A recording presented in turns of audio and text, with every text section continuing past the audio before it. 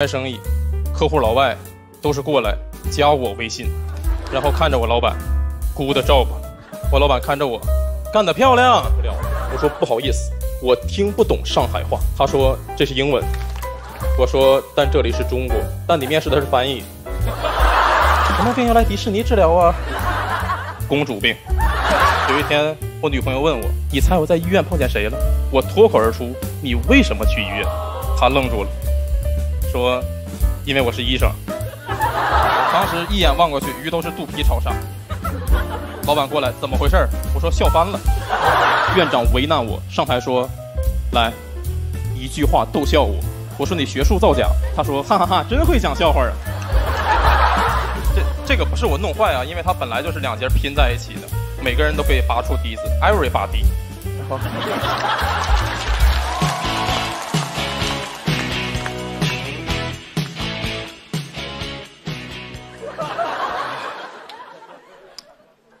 最近脱口秀太火了，我老家一个开足疗店的朋友都来找我合作，让我在他给客人捏脚的时候站前面讲脱口秀。我说可以，但需要你配合。他说怎么配合？我讲到梗的时候，你抠他脚心。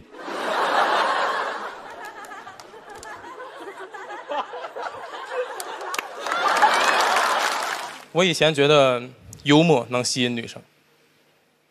我中学开始就爱写笑话，讲给我喜欢的女孩，她笑得很开心。然后讲给她喜欢的男孩，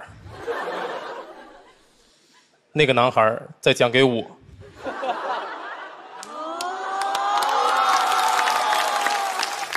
一个笑话，幽默了一圈就我不开心。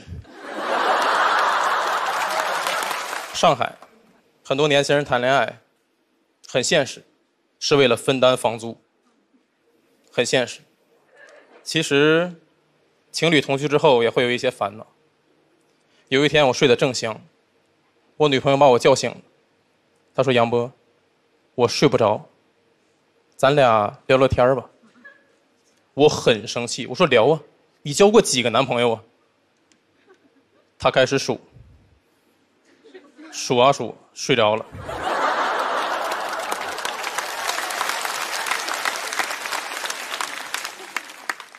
我睡不着了。你们也能听出来，我的感情生活并不是很顺利。但我觉得没关系，因为一个男人最重要的是事业。我从小的梦想就是当老师，人类灵魂的工程师。但在我真正当老师之后，我发现并不快乐，并不快乐。我之前教高中物理，还是高三，压力特别大，题我都不会，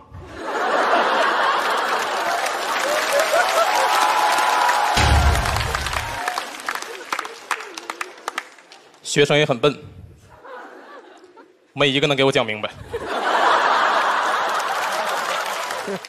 后来我去了一家广告公司工作，经常要和老外接触，但我英文很差，每次出去都是老板给我翻译。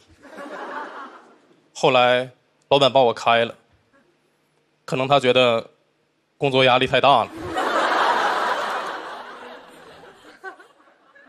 每次谈完生意，客户老外都是过来加我微信。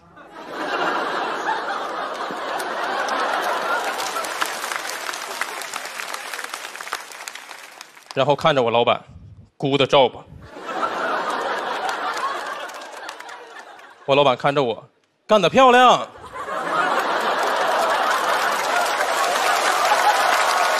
我说这句不用你翻译。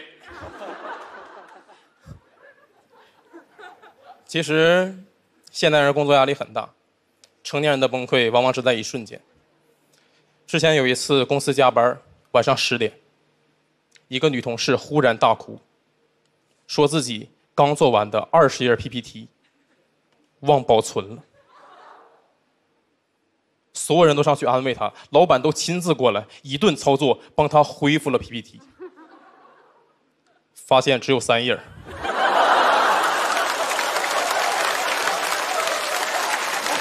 我太难受了，我太难受了。我的对手是杨蒙恩和建国博洋，要在我们三组里淘汰一个，我太难受了。淘汰他俩谁我都舍不得。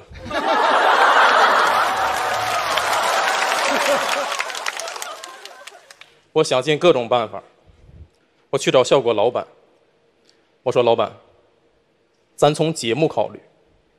淘汰我，不能上热搜。有道理。淘汰王建国可以上热搜，是，因为没人认识我。老板说对。你是谁呀？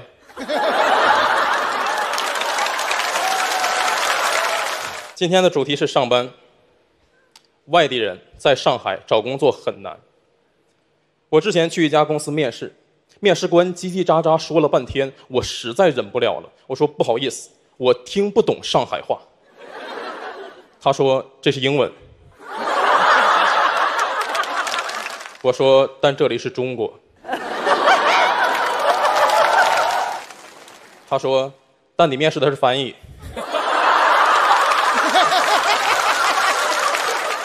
我大学专业叫水产养殖。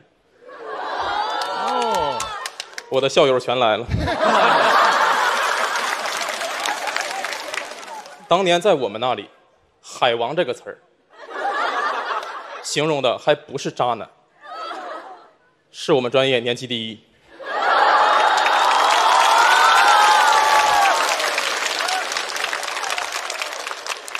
我来效果面试，HR 问我，大学取得过什么荣誉？我说当了四年海王。他说你真不要脸，符合我们公司文化。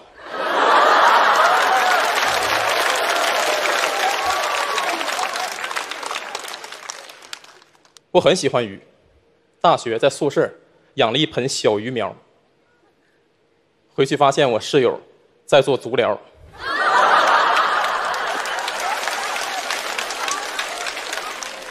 为了从事这个行业，我还去学校鱼塘偷着练游泳。换气很难，要在水上吸一口气，水下吐出来，水上再吸一口气。我不会，在水上吐了一口气，下去喝了一口水，上来吐了一口水。我怀疑这个场面被人看见了，因为过了几天有人传，鱼塘里有鲸鱼。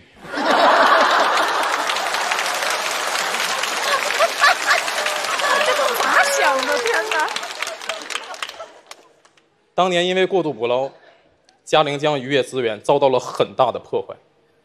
我决定在实验室培育鱼苗，放进嘉陵江。当时我在上游放，渔民在下游捞，鱼都懵了。啥意思啊？欲擒故纵啊？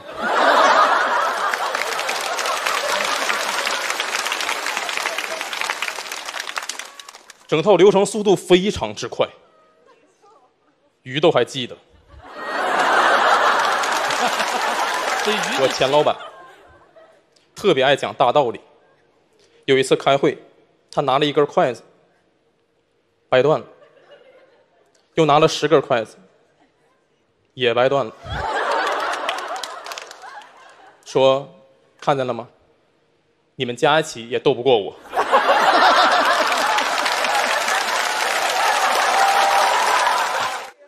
刚才扯那么多有的没的了，我们讲一个严肃的话题。其实职场大家工作压力都很大，成年人的崩溃就在一瞬间。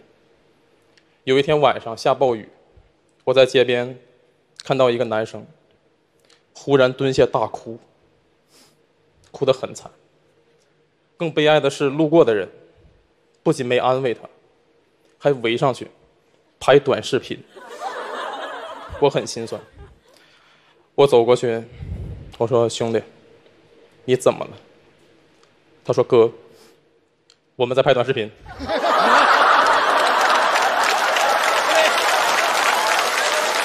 上一轮结束后，我有了一种当明星的心态。我干了一件我从没干过的事情，去做了头等舱，很失望。头等舱的空姐服务质量太差了，把我赶回了经济舱。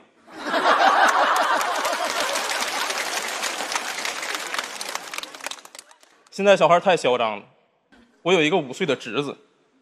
他淘气，我打了他一下，他居然都对我喊：“你知道我爸爸是谁吗？”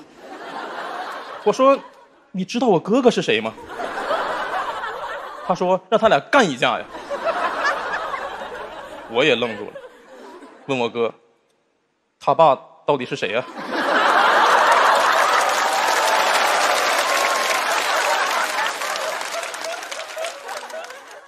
我哥说：“你疯了。”不是说好不提这事儿吗？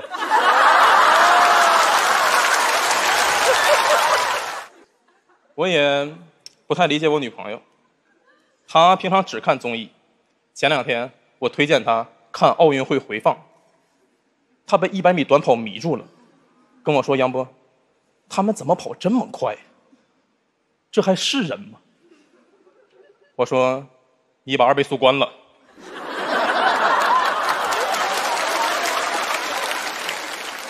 苏炳添百米成绩四秒九一。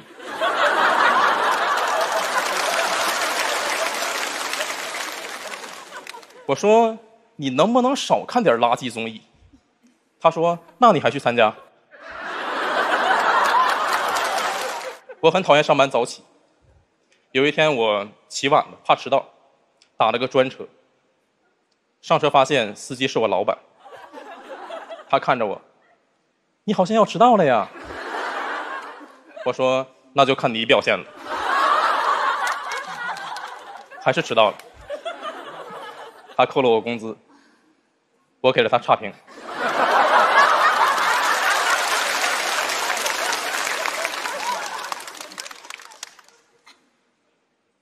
我很怕在生活中遇到老板。有一天我在逛迪士尼，老板朝我迎面走过来，我很害怕，我假装看不见他，开始玩手机。来了一条微信：“别装了，我看见你了。”我很尴尬，因为那天我请了病假。他看着我，什么病要来迪士尼治疗啊？公主病。来上海很久了，刚来的时候跟人合租，要共用卫生间，很不方便。尤其我的室友是女生，我俩经常爆发争吵。我说。你洗澡能不能快一点？他说：“你能不能先出去？” 别误会啊，她是我女朋友，我俩是姐弟恋，姐弟恋，相亲认识的。他是媒婆。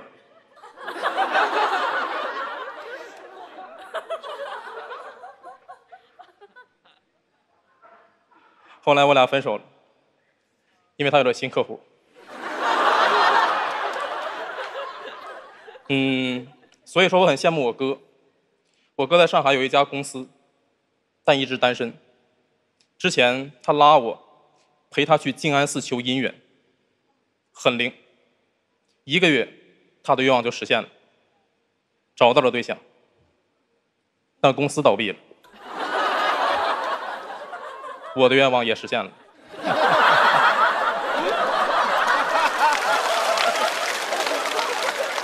有一对兄弟，两个人发展相差很大。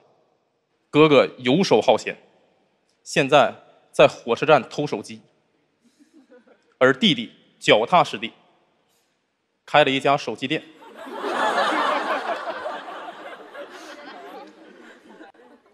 我妈特别爱砍价，小时候她带我出去，对方说三千，我妈说两百，不行就下一家。我说妈，要不就三千吧。咱已经走四家医院了，我快不行了。我妈说别着急，他会出来叫咱们的。女生的问题很多陷阱。有一天，我女朋友问我：“你猜我在医院碰见谁了？”我脱口而出：“你为什么去医院？”她愣住了，说：“因为我是医生。”你心里没有我。我很讨厌灌酒。有一天，朋友约我吃饭，拼命给我灌酒，拼命给我灌酒。我刚要灌他，他说一会儿要开车。我很生气，因为我也是开车过来的，我只能叫个代驾。他接单了。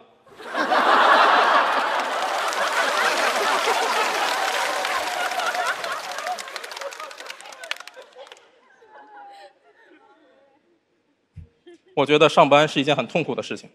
我工作的时候，脑子里经常出现一个声音：“杨波，你为什么不辞职？”转头发现老板在我旁边，他说的。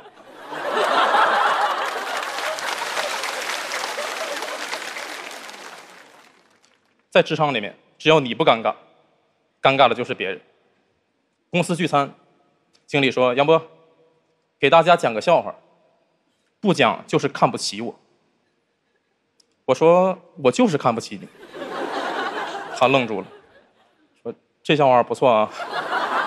我说我就是看不起你。他看着我，这是什么意思啊？我说这叫 call back。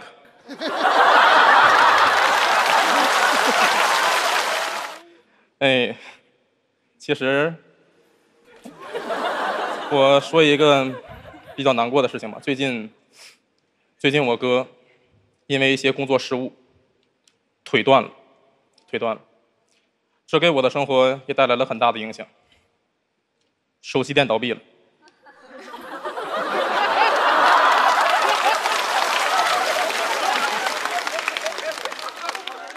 我喜欢你们，很聪明。我的风格就是拿身边各种人编故事，我就是这样。我全家已经没一个好人了，但他们不在乎。我舅舅还来找我，杨波，你能不能把我也编你段子里边？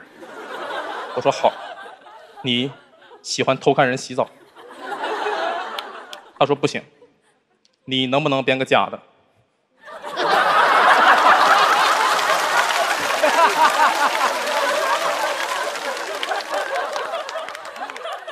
我说你能不能先出去？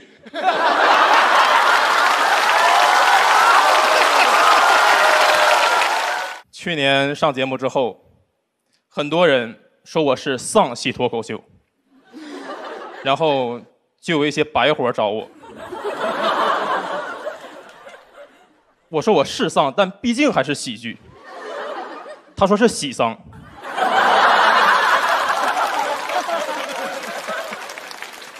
前段时间居家，大家因为无聊，行为越来越奇怪。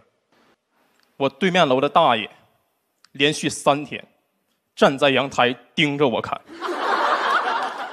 第四天我实在受不了了，换回了男装。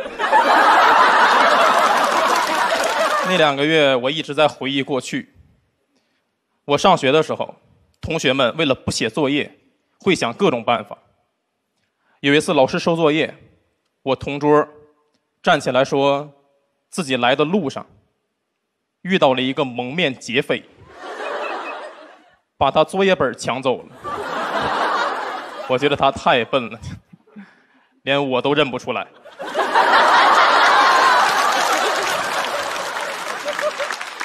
有一段时间，我的邻居是一个精神病，他住的离我很近。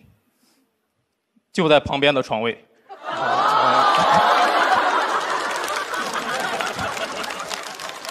他跟我说他有透视眼，我一点都不害怕，我会隐身。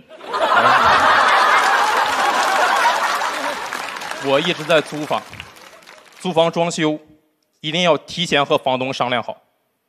我之前私自把房子的门拆了，房东很生气。因为他还没答应租给我，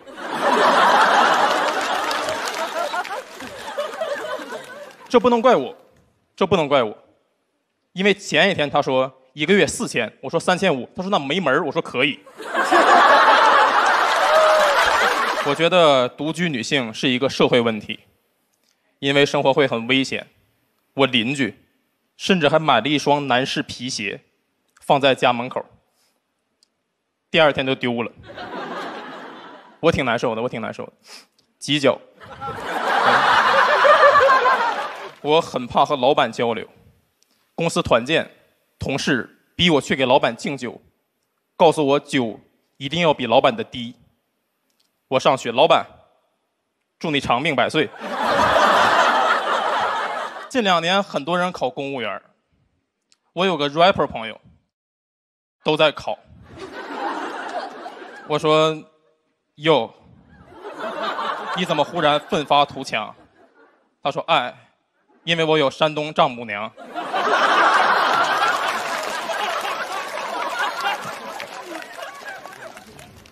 他考上了。嗯工作是给领导写稿，现在他们开会已经有 flow 了。领导座位上写着 A.K.A 王科长，旁边座位没人，嗯，写着别来站边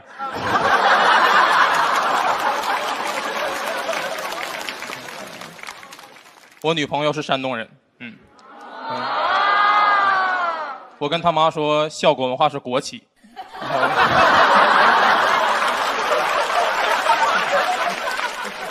前两天有人找我直播带货，我说我不是网红，干不了。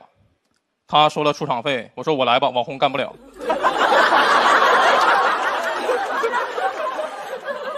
那次之后，我明白了为什么明星们都去直播带货，原因和我一样，为了给家人谋福利。中学条件很差，学校教游泳，没泳池，趴地下旱泳，看起来像练蛤蟆功。但我学习很努力，考上了大学，这在我们村很少见。我同龄人大多数初中都没毕业，他们问我考怎么样，我说还行，上了个二幺幺。他们请我去县里吃饭，还做了横幅，恭喜杨博高考取得二百一十一分的好成绩。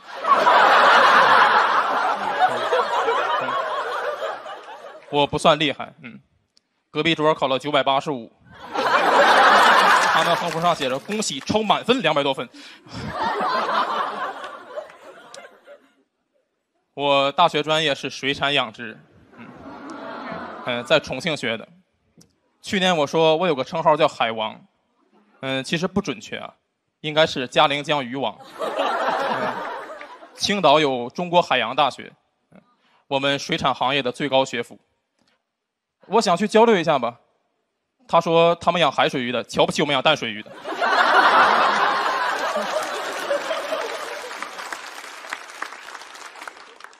我说你别太过分，我是嘉陵江鱼王。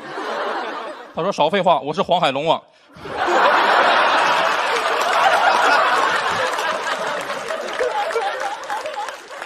我养鱼的时候接触到脱口秀，开始疯狂写笑话。鱼塘没观众，我给鱼讲。鱼一直不理我，直到有一天我讲着讲着，发现上来听的鱼越来越多，我非常开心。然后发现忘开增氧机了。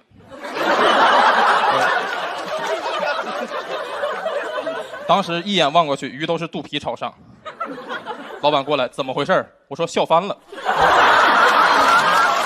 老板人好，没跟我计较。他说算了，你下去把死鱼捞上来。游泳会吧？我说分情况，在水里就不会了。上节目之后，我很不习惯，身边人都叫我老师，叫的我贼不好意思，还去考了个教师资格证。考完之后就很有底气了，很有底气了。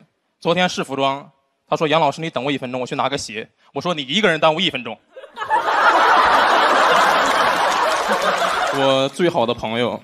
跟我说他得了重病，我说你减减肥呀，但是。我经纪人最近也开始逼我减肥了，我也有身材焦虑了。有一天买了个鸡蛋灌饼，想想不能吃，给了路边一个乞丐。他说不吃碳水。我说，但你是个乞丐呀。他说对呀，胖了就不可怜了。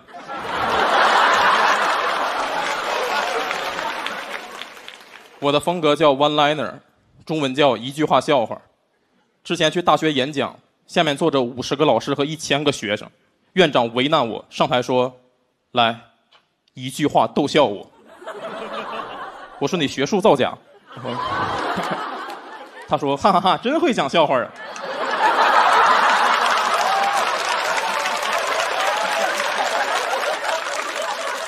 我们继续。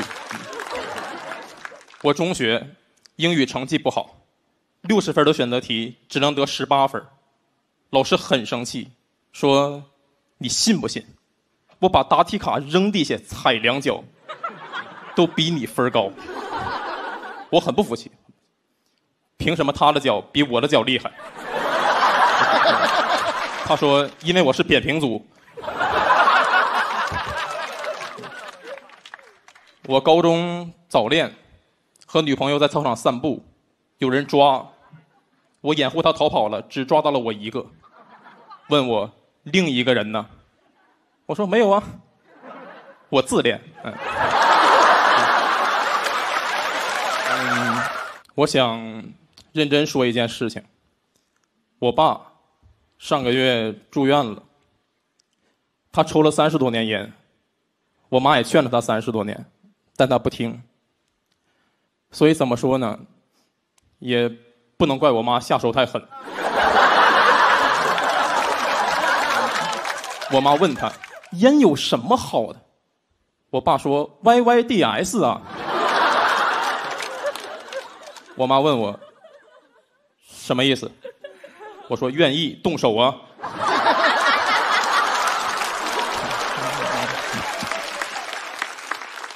我爸求饶，别打了，你是我的神。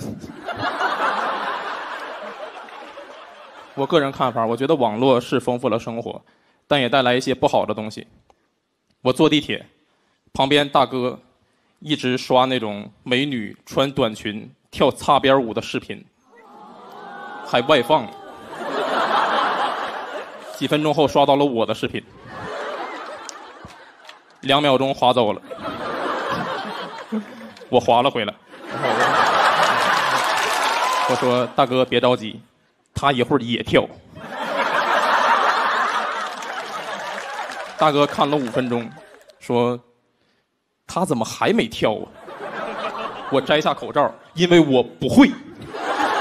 然后转身跑下地铁，我觉得我太厉害了。那一刻，我觉得我太厉害了。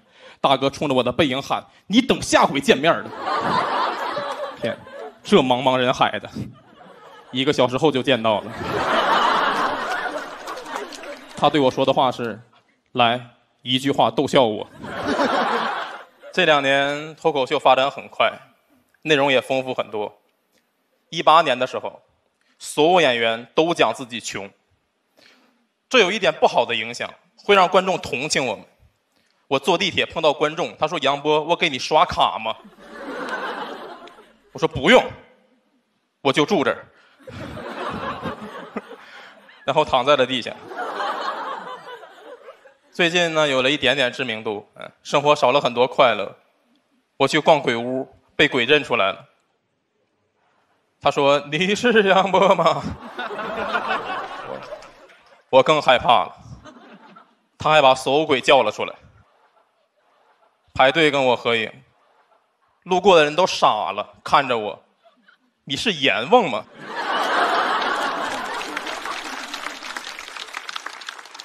我名字非常大众，去搜索引擎输入杨波，第一个词条是杨波修脚，大企业，全国上千家店。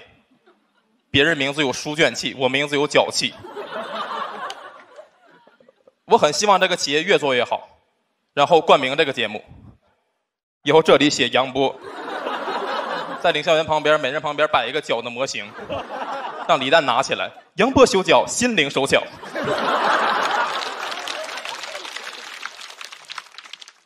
哎，你们也能听出来，我最近快被节目压力逼疯了。写了很多非常奇怪的笑话，给你们讲一个。我有人格分裂，但一直没人发现，因为我另一个人格不会说话。嗯，不好笑吗？我就说不行吧。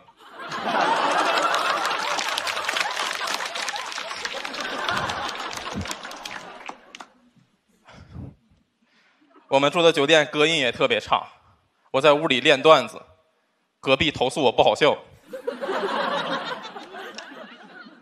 我去请教了一个前辈，他告诉我不好笑的话就加音乐，然后我也就准备了一段。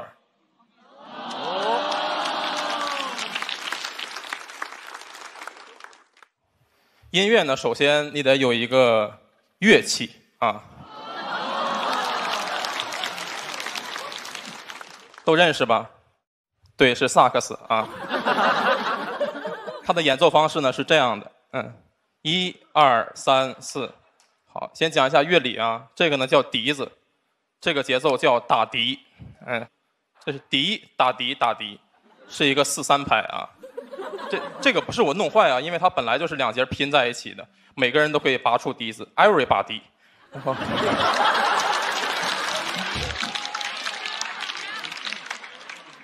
这个太可笑了，天 哪！哎呦，不闹了。其实我是准备了一段配乐朗诵啊。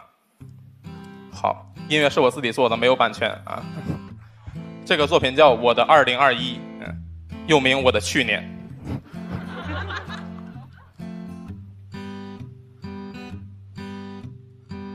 啊，一月，河北下了一场很大的雪。我醒来发现谁堆了个很丑的雪人，挡在了门口。我一脚踢过去，是我爸岔气儿了。三月，我去学开车，教练一直骂我，用各种脏话。我不服气，跟他顶嘴。他说：“杨波，你记住了，你以后是要当一个司机的，这些脏话都能用到。”当然，不是所有开车的都骂街啊。比如开过山车的，啊，六月，我去重庆演出，第一个段子调侃重庆人口音了呢不分，现场全是重庆人，场面一片死寂，他们听不出区别。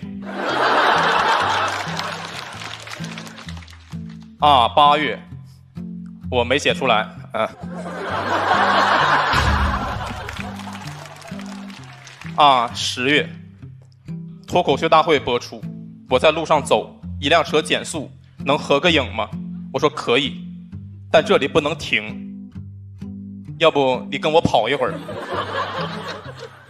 我拒绝了，他骂我，我赶紧追上去，我说兄弟，咱俩一个驾校的。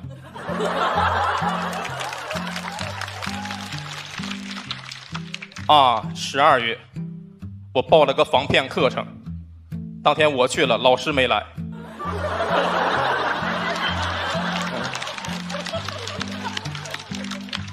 虽然老师没来，但我感觉上了一课。好，胡闹就到此为止了。嗯，接下来我想我说一下我二零二一最内疚的事情吧。邻里和谐真的很重要。我楼下三零一的小伙每天抱怨三零二大爷。把垃圾放他家门口，天天吵。我找到三零一，我说兄弟，你才二十岁，那大爷都六十了，他打不过你的。两个人真打了起来，大爷被送进了医院，我很内疚，再也不把垃圾放三楼了。嗯，编的啊。最后我想说。我写的笑话很奇怪，我知道，我就喜欢这样奇怪的笑话。我也是，你不是不会说话吗？讲完了，谢谢。加音乐这个吧，哎呀，就第三轮本来想弄的，但是觉得有点风险，因为很奇怪嘛，就没有。然后这一轮是因为我看这个阵容就很有可能淘汰了嘛，可能再不就是尝试一下就没机会了，而且看这个节目可能下一届办不了了，所以。我想说，哎呀，我最近哎，我我一直在编乱七八糟的，我现在想说点儿说点儿走心的话，就是我想说，我为啥讲这个风格，是因为我这个人，我觉得跟我性格也蛮贴合的。我这我比较自闭，而且我也不太喜欢表达，就是我，因为脱口秀其实是表达一些自己的观点啥的嘛。我这人我也不太喜欢表达啥观点，就是我就喜欢这种乱七八糟的东西，知道吗？哎呀，我最近最难受的一个点是在于，因为我讲这种东西都是短笑话，网上很多人骂我说什么网络段子，明明都是我自己写的，就因为他听到之后觉得短，或者觉得哎呀这话题我好像之前看到过，就骂我。然后呢？还有人替我说话，说你去网上搜，搜到一样的发出来呀。他说我搜不到，但我就是觉得看过。如果明年这个节目还有我再参加的话，我觉得就就讲正常的吧。啊！所以如果如果之后有还有想讲这个风格的人和心理承受能力比较强的人来讲万澜，能能把万澜的这个位置在这舞台上保留住的话，我觉得是挺好的。我会谢谢他。好，嗯。OK，就这么多啊！哎，杨波，我要跟你说一事儿，我跟你这个想法一模一样，因为我也之之前经历过这种，就是别人说我怎么着怎么着那种，然后我也非常痛苦。但是正常不正常是别人的眼光，你觉得好玩就是就是最正常的生活，是不是？然后而且为什么要要要要改啊？就真的会在乎那些事儿吗？就是这种误会啊，这种无端的谩骂，我心理承受能力比较差，所以我觉得算了。杨波，你这个坎儿迈不过去，不是说你换一个风格你就能活下来了，就是可能需要一个心态调整的过程吧。我觉得是，因为你真的很可贵，你明白吗？就是因为是吧？人家那个谁，汪峰峰很很我很喜欢杨波，但是我觉得我们没人能够劝得了他。但是我只能说很可惜。然后我很喜欢你的风格，然后当然支持你的决定，你想放弃就放弃。嗯，也许有一天你变成正常风格了，哎，发现骂的人更多了，哎，你就又回来了。生活很幽默的，嗯，那我可能需要自己思考一下吧，可能需要自己有一个缓解的过程了。就不要思考，我跟你说，停止思考，生活才会美好。就越思考，生活越不美好。就停止思考，生活美好。